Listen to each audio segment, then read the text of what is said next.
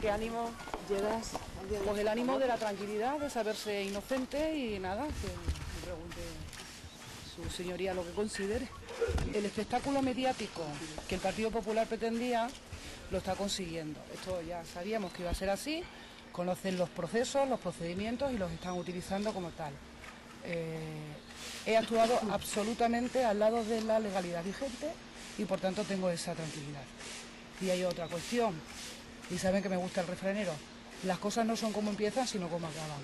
Así que con esa consideración voy a hablar con su señoría. ¿De acuerdo? Muy bien, gracias. Gracias.